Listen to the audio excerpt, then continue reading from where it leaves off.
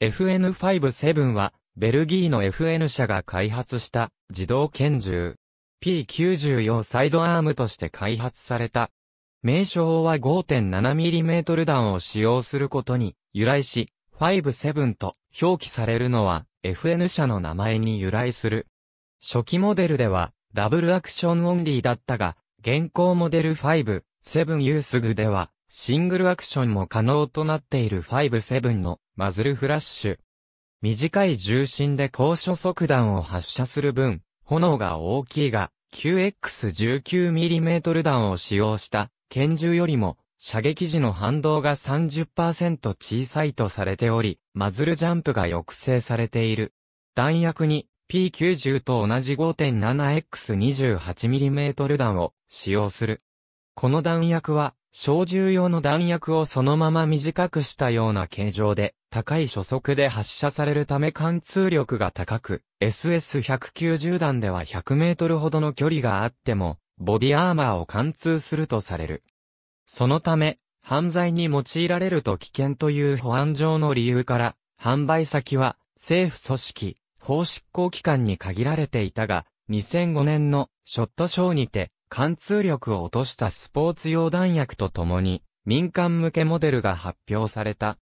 貫通力に優れる拳銃弾として、以前から共産圏のソビエト連邦で開発された、トカレフ TT-33 で使用する 7.62X25mm トカレフ弾が存在したが、57の 5.7X28mm 弾は、材質の見直しによって、トカレフに匹敵するかそれ以上の貫通力を持ちながら、人体に対する破壊力を高めている。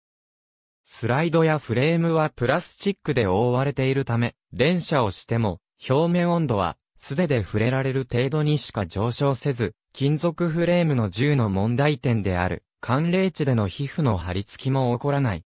作動方式は、一般的な小トリコイル方式ではなく、重心誘導遅延ブローバック方式となっており、ハンマーは、スパー部分等が露出しておらず、内蔵式のインターナルハンマーである。セーフティレバーは、エジェクションポート下方に設けられている。相談数は、標準で20発だが、30発のロングマガジンや、アメリカの一部の州での規制に対応した10発マガジンも存在する。